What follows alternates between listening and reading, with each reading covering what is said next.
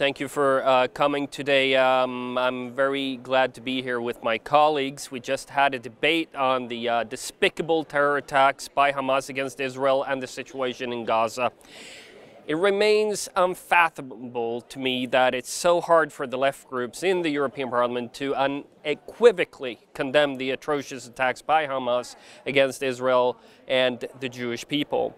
Let me therefore start by saying I fully condemn, in the strongest possible terms, the terror attacks committed by Hamas on 7th October 2023.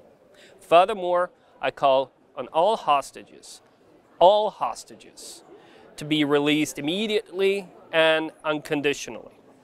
These attacks, as well as the lack of a condemnation by the Palestinian Authority, have once again demonstrated that there is a real problem with support for terrorism in the Palestinian society. Time and again, we've seen the Palestinian textbooks, which include awful, despicable anti Semitism, incitement, and the glorification of terrorism. That is why I, together with colleagues, have tabled an amendment on the EU Parliament budget report for 2024, requesting the Commission to not to contribute directly or indirectly to the funding of textbooks containing anti-Semitic content. EU taxpayer money to these textbooks must end. We also call on the Council and the Commission to suspend union funding to the Palestinian Authority as long as the Palestinian Authority does not clearly condemn the aggressive terrorist attacks on Israel carried out by Hamas, and as long as there is no guarantee that union funding is not being used for terrorist causes and incitement to hatred and violence, including in school textbooks.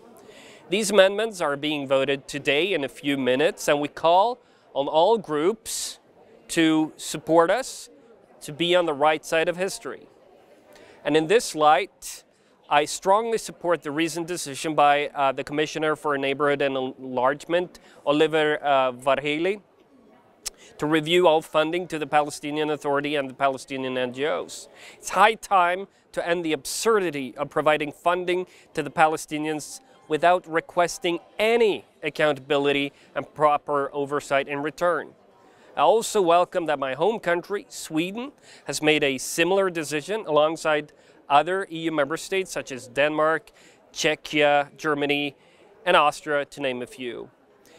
Two years ago, I raised to the Commissioner that the EU funding was going to the uh, Islamic University of Gaza, the Hamas hotbed for terrorism. I'm happy and I thank Commissioner Varhelyi once more for his resolute stance to immediately stop the funding after I raised it. Moreover, over the years, concerns have been raised consistently about funding to Palestinian organizations and their links, either directly or indirectly, to terrorism. Some years ago, Palestinian NGOs rejected and refused, I repeat, refused to sign a declaration demanded by the EU in which the NGOs guaranteed that no funding would go to terrorist organizations terrorism activities or persons affiliated with terrorist organizations. After they refused, the EU retracted and let them off the hook. Now there are reports that Hamas dug up EU-funded water pipes in Gaza and used them for the manufacturing of rockets to launch indiscriminately at Israel. How can it be that these things keep on coming up consistently when we talk about EU funding to the Palestinians and not to anywhere else in the world. So we must demand accountability, and therefore I reiterate what I, that I warmly welcome Commissioner Varhelyi's recent decision, and he can count on my full support. Thank you.